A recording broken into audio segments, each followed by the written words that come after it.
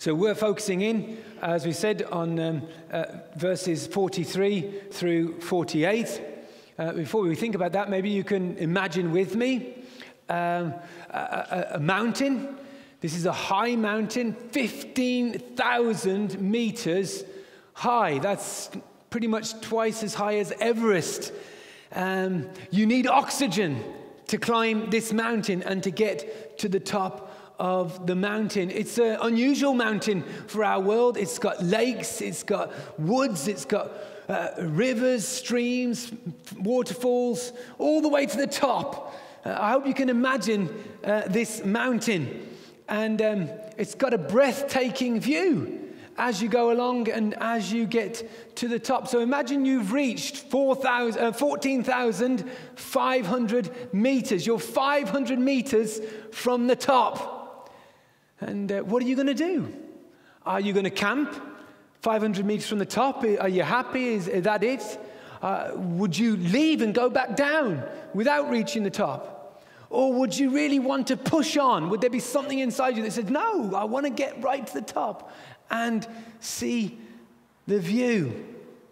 Well, people say that verses 43 through 48 here in Jesus' teaching, uh, Jesus is called the Sermon on the Mountain, and here Jesus is teaching to the people, and, and people say that these verses are, are a bit like the top of the mountain. You're stepping out onto the very peak of the Sermon of the Mount, where we're considering Christian character and what it looks like, in a, a countercultural Christian character and what it looks like. So, as we consider these verses, um, we can ask, well, what are we going to see? Let's, let's push on if we can, this last 500 meters, and see what the view is.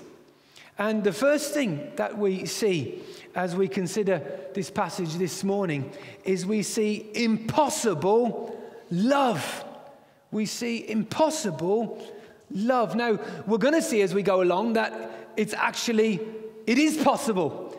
but before we can see that it is actually possible, we really need to take on board that it is impossible for you and me to love in this way. And we see that impossible love in verse 44. Jesus says, But I say to you, love your enemies. That's impossible love really ultimately for me and for you. Love your enemies. And when Jesus uh, says love, the word he uses for love there, it's not talking about romantic love. He could have used a word that expressed that. He's not talking about family love, the kind of love you have between uh, families. Uh, no, uh, we can define the love that Jesus speaks of here uh, with a statement like this This love is a commitment to another person's good, regardless of how we feel about them or how lovely they are. A commitment to another person's good, regardless of how we feel about them or how lovely they are. So we begin to see that uh, this love, although it does include feelings and emotions in one level, that is not the primary reality or emphasis of this love. Uh, it's about an act of the will primarily. We choose to live for someone else's good. And it's an impossible love. Uh, we can think maybe just a, about one extreme example to begin to see how impossible this love might be. But if you imagine a, a family and either the sister or the daughter has been brutally murdered, and then that, those family members are told, Love the murderer.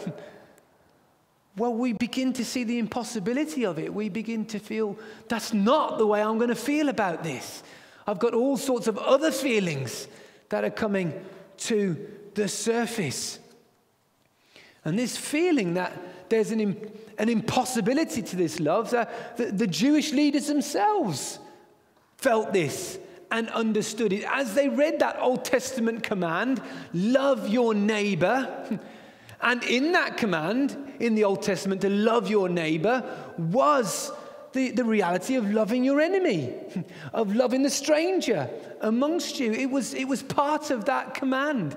And, and they sensed that it was impossible, so they added to the law. They, they limited the command, and we see it here. Jesus expresses what they've been saying. He says, You have heard that it was said, verse 43, you shall love your neighbor and hate your enemy. Do you see how they've limited it down? They've reduced the number of people to be loved. they, they, they've robbed the law of its abundance in terms of who is to be loved. They've made it doable. They've turned it into a law that everybody can keep. And that's what we see. Jesus kind of gives a picture of how the law works itself out in verse 46 and 47. He says, For if you love those who love you. There you go, that's the law being lived out. You love those that love you. Then he says, What reward is that to you? Do not even the tax collectors do the same? And if you greet only your brothers and sisters, what more are you doing than others? Do not even the Gentiles do the same? So we see the, the, limit, the limited love being lived out in people's lives. And this twisted law is still lived out today, right now. In fact, we would say it's the, the normal, standard law of love that most people go by. We love those who agree with us, we love those who are like us, we hate those who disagree with us, we hate those that are different from us. Surely that's what's being stirred up all the time, more and more in the media and life. But Christians are not to live by that love. We are called to an impossible love, a different love. And God calls us to this impossible love because it really does exist. Because it's the love of God. That's the love that we're considering.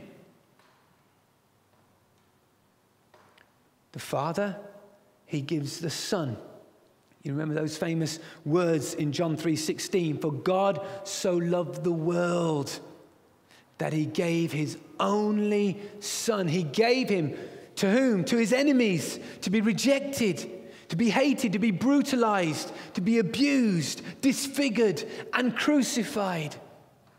And the son came willingly to suffer so that whoever believes in him should not perish, but have everlasting life.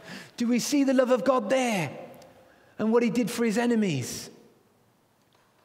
And this revelation of love at the cross, which is where we see this impossible love, uh, the more you look at it, the, the, the greater it gets. And, and we see uh, uh, Jesus, Jesus ex- expressing that love even deeper on the cross as he prays for his enemies.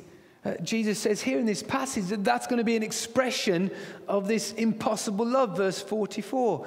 But I say to you, love your enemies and pray for those who persecute you. This is a, this is a, this is a peak of this love being shown. Uh, listen to Luke 23 and verse 34 as Jesus is put on the cross. It says, And Jesus was saying.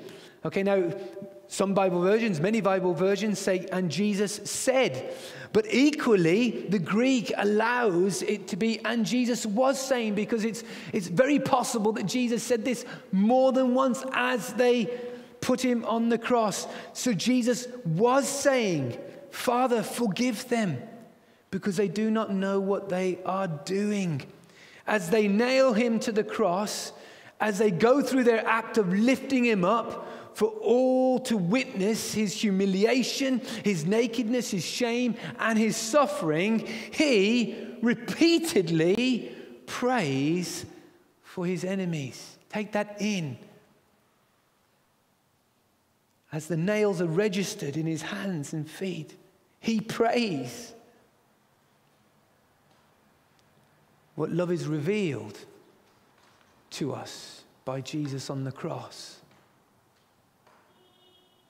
You know, it's one of the great heights of love to pray for your enemies. And as we do so, we are, as we look at this, we're treading on the mountaintop of love when we do. So, do you pray for your enemies? Are you praying right now for those who make your life a misery? Are you praying for their good? this is impossible love. I hope you can see that.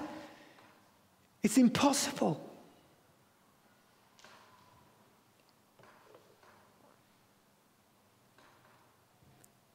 Not only is this love impossible, it's indiscriminate love.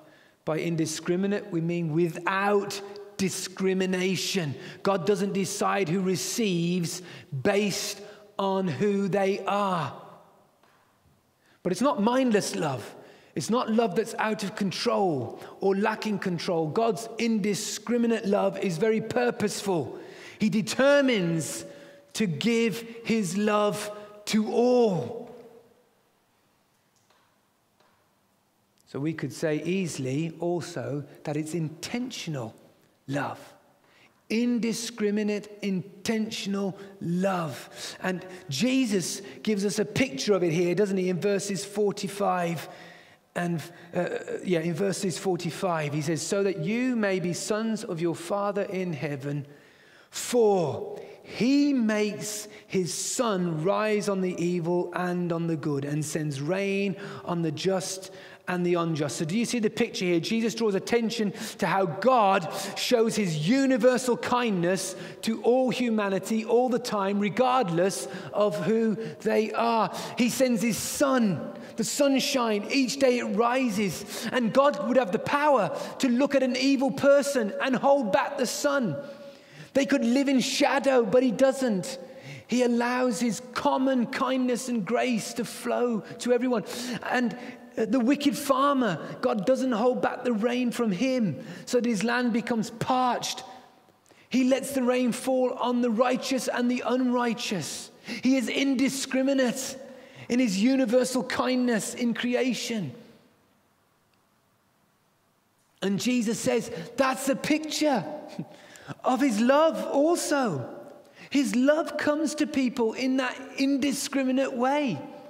He doesn't withhold it and the offer of it because they are evil. How God gives the sun and the rain is also how he gives his love.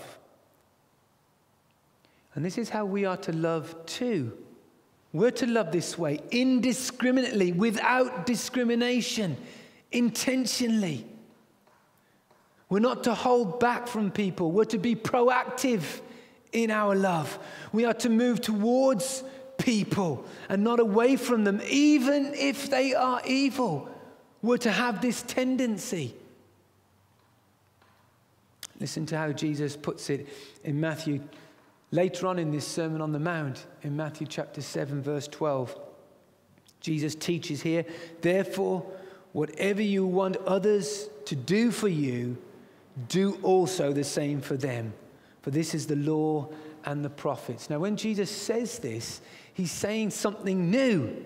Others have said something similar. It was a common phrase already in the culture that said, Don't do to others what you don't want them to do to you. It sounds familiar, but it's very, very different. One is passive and one is active. One is saying, Listen, live by the rule that I won't do to you what I don't want you to do to me. That's very passive. You stay in you where you are, and I will be where I am, and we'll all be happy.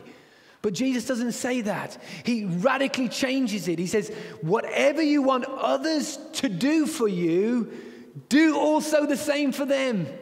Be proactive in your love towards others. Jesus' teaching moves us towards people, both our friends and our enemies. So imagine you walked into a room full of people. Indiscriminate love moves towards your friend and towards your enemy. Now, there will be different interactions. We're not saying that love makes the interactions exactly the same. They could be very different interactions that you have. But the point is that love moves you towards them both. You want their good, you're committed to them. This is impossible love. How are we to love this way? How are you and I to have this love? Well, firstly, we must experience this love. We can't love in this way without experiencing it. We must be saved by this impossible love. If you have not encountered the love of God in Jesus Christ at the cross, that's where you need to go. You need to encounter God's impossible love for you. In Jesus laying down his life that sinners and enemies of God can be forgiven and made right with Him. Imagine with me, if you would, a, lake, and you're standing on the edge of the lake, and there is someone drowning in the lake. The person in the lake that is drowning is a beautiful person, however, you might make them beautiful. There they are. To you, they are a beautiful person, and they're drowning. It's not hard for you to imagine that you would want to save them, is it? Uh, we like to save beauty. You would want to dive in and rescue that person. But imagine if the person drowning had been pursuing you, chasing you down. They hate you, they want you dead. They're evil, they're full of nastiness, they're wretched. They're horrible and they're drowning. What then? Becomes a bit more complicated. We can see the challenge. Where does the love come to save them? And of course, it becomes complicated because love might not necessarily mean that you will save them. What about if you've got children with you who they want to kill? Well, then suddenly the motivation of love for others kicks in. You see, love can pull you in a number of different directions. But the point is, what is going to motivate you? Is it love or is it hate? That's the key. No matter which direction you are pulled in, with God, he stood on the bank. And we need to remember, we like to put ourselves in the position of the hero on the bank. You're not, and I'm not the hero. We are the drowning scum. We are the unlovely ones. And God, in His impossible love in Jesus, if your faith is in Him today, He rescued you, He saved you, He laid down His life for you. We read about it in Romans chapter 5, didn't we? God shows his love for us in that while we were still sinners, Christ died for us. While we were enemies, we were reconciled to God by the death of his Son. Dear brother and sister, we must never forget we've been, in, we've been saved by impossible love if we are going to offer impossible love. But secondly, we must receive the power of this love, which is what we do when we believe in Jesus Christ. The moment a person puts their trust in Jesus Christ, the power to live and love with impossible love enters our life because the person of the Holy Spirit enters our life. Again, Romans 5 says this God's love has been poured out into our hearts through the Holy Spirit who has been given to us. He is the oxygen that enables us to climb the mountain that we cannot climb, right the way to the top. He is the power we need to love with impossible love.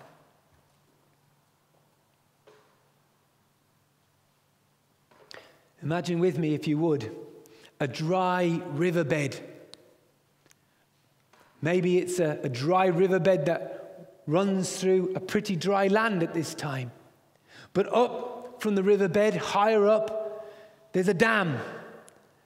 And behind that dam is a massive, seemingly infinite reservoir.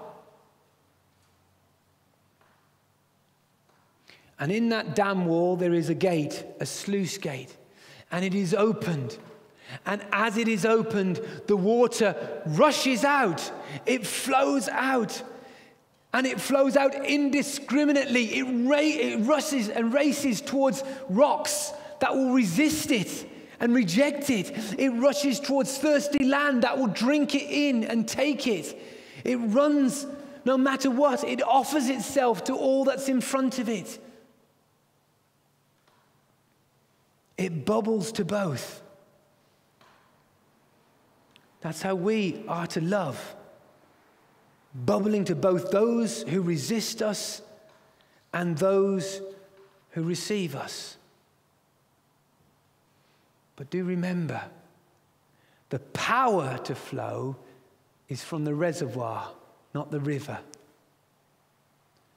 And your power to love with impossible love always comes from God, not from you.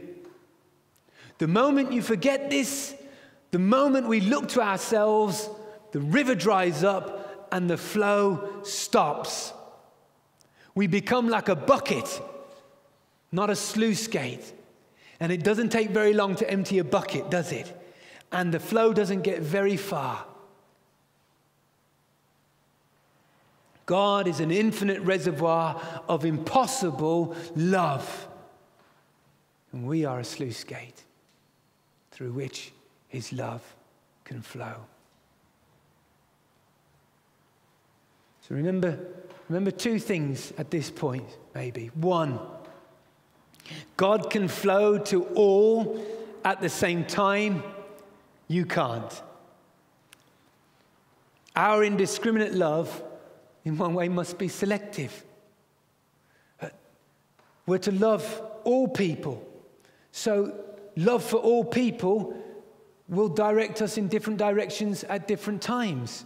We simply can't love everyone in the same way. It might pull us towards someone and away from someone else for a time. Wanting someone's good doesn't necessarily mean that we always end up coming to them. And there are other things that will shape our love legitimate things, justice, wisdom, truth, patience. These kind of things will also shape how our love ultimately looks. But as we've already said, but the point is that it is love that moves us, not hatred and despising. Do you get that? I think that's quite important because as I look inside my life, I often see that it is dislike that is moving my feet, not love. Second thing, loving someone is not the same as liking someone. When we like someone, it normally implies that there's something in them that, that kind of stirs our, our warmth towards them. And we like them because what is inside of them. But remember how we've defined love already. Love is a commitment to someone's good, even when they are unlovely. Do you see the difference? That's important for us to take on board because this truth can help us not become confused when we do move towards someone in love, but are finding it hard to like them.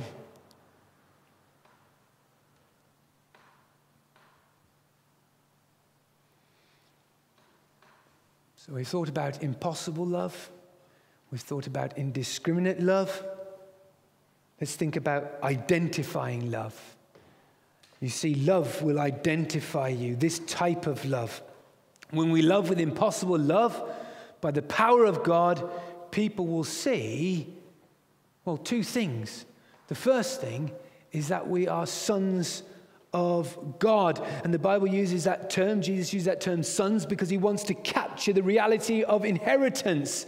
That we are adopted, that we have all that is God's has come to us. In this case, his, his perfect love, his impossible love. has come to us. Because we love in that way, we must be his children. So Jesus isn't saying here, love in this way to become his child, his son. He is saying, when you love in this way, because this love is supernatural and divine and impossible, people will see that you must be a child of God. You must be a son of God. And so he says, doesn't he? Verse 44 But I say to you, love your enemies and pray for those who persecute you, so that you may be sons of your Father who is in heaven, so that you will show yourself to be a chip off the block, just like your Father. You have His love. You must be a child of His. So, are you looking for assurance in your Christian life that you are a child of God? Do you, do you long for that assurance? God, I long to know that I'm your child. Well, this is one way that that assurance can come to us in a very strong and powerful way. Firstly, identify your enemies, those that really you struggle with. Identify them. Begin praying for them. Pray for their good.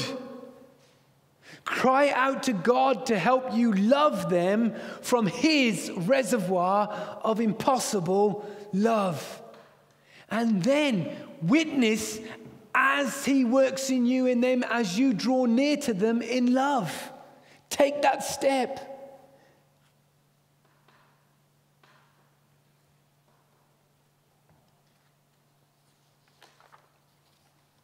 What can be more reassuring to us than seeing God's impossible love at work in us and through us and simply saying, That's not my love. I don't love that way. It's come from God. That's what He calls us to.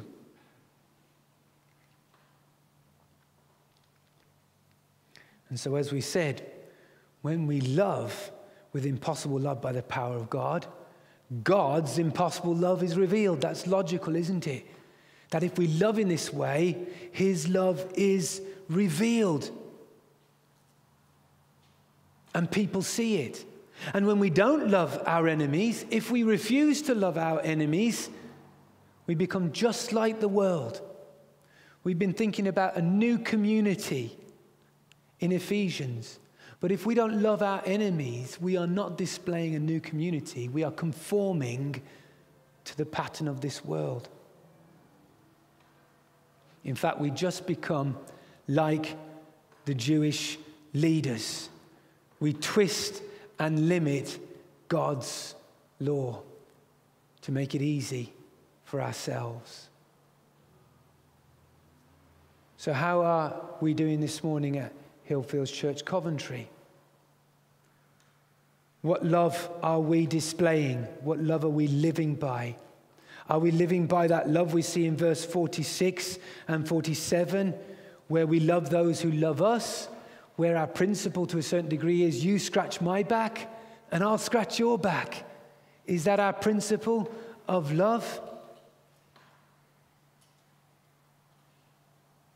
Or are we able, by God's grace and power, to actually love our enemies and bring glory to God's name? You know, the topic of discrimination will come up fairly regularly. But have we thought and have we been challenged that we may discriminate against the evil person? That we may withhold love? From them? And do we hate and despise them while loving our friends? That is not a discrimination that God calls us to. This is not an easy path. This is not, this is not me. I don't love in this way. If you know me, you know I don't love in this way. None of us can love in this way. This is impossible love. But it's available because it's real love. And God gives it to us through the person of the Holy Spirit. And we are moved by God's love for us to seek to love in this way. And we're called to it. We are not to diminish the law and make it smaller. We're to allow its full abundance to challenge us. So finally, we see it is immaculate love. It is love without fault. It is perfect love. That's what we begin to see in verse 48, isn't it? We see that word. You, therefore, Uh, must be perfect. You see the therefore, God has outlined, Jesus has outlined how God loves, and now he says, You must love in this way. Be perfect, be faultless in it. We haven't got time to go into the fact of how God has already made us faultless in Jesus, how he will make us faultless, and how he is working to make us faultless right now. And we can rejoice in those things, but he calls us to a perfect love, an immaculate love, and that's because that's his love. His love is perfect, His love is immaculate. But what do we think of when we often think of the word perfect? What do we often think? If something or someone is perfect, do we have a negative or a positive view of that? I think we often come with a negative. We immediately think that they're exclusive somehow, that they would rather hold imperfection at a distance. If I'm a perfect model, then I don't want any imperfect models around me. If I'm a perfect student, then please, dummies, stay at a distance.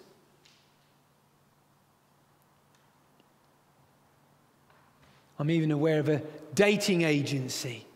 And uh, to be on this dating agency, you have to send a photo of yourself and a record of your bank balance because they only want the rich and the beautiful. Well, how would you feel applying to that dating agency? It seems quite exclusive. They're searching for what we might call perfectionism. But God is perfect. But what view do you have of your perfect God? Do you have a right view of his perfection?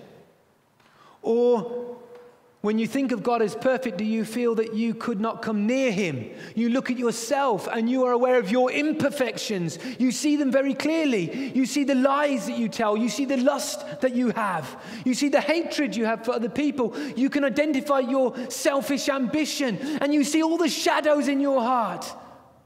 And you say to yourself, Why would a perfect God want me anywhere near Him? Is that how you feel? This morning. If it is how you are thinking this morning, then I encourage you to radically change the way you view God. His love is perfect, and that means He welcomes you. That's what perfect love does. A room full of perfect, loving people is a very welcoming room to the imperfect. Isn't that amazing? Perfect love isn't exclusive, it is inclusive. It calls imperfect people to come. And God says this morning to you, Come, come to me. Maybe you say, Don't I have to get clean first? Don't I have to get rid of all these imperfections? You know what God says? He says, I've provided a bath to be washed in. That bath is the cross. You can be washed of all your imperfections. You can be cleansed of all your sin.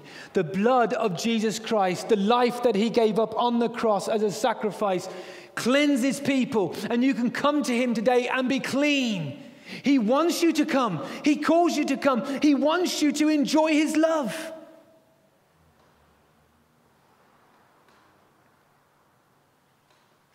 You can step into the love of God today, into his cleansing power. You can know his impossible love.